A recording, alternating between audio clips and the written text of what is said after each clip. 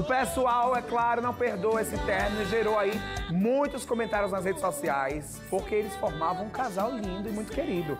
Tantos comentários quanto algumas críticas ao Pio Araújo, porque ele terminou e deixou ela desse jeito, viu? Ó, vamos ver aqui, ó.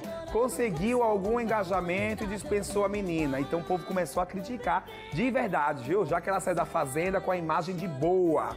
Estava correta no que apontava e foi a única ao lado do Rico no início ao fim. Lembra do Rico que ganhou, né? Maravilhoso. Aí falaram mais coisas, gente. Aí foram falando na internet também. Terminaram porque não foram chamados pro Power Couple.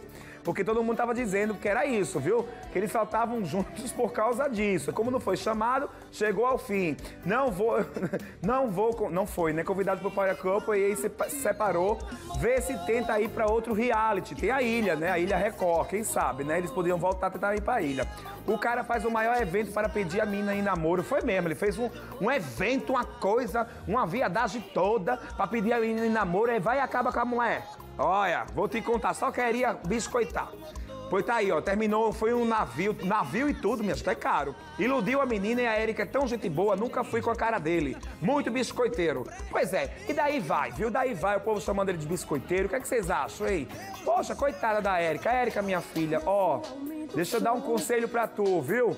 Sofra não, sofra, que é bom. Você viveu o luto essa semana, acabou e tal. Mas depois, minha amiga, dê a reviravolta na sua vida, que você é linda, maravilhosa. Depois, quem vai estar arrependido com certeza é ele.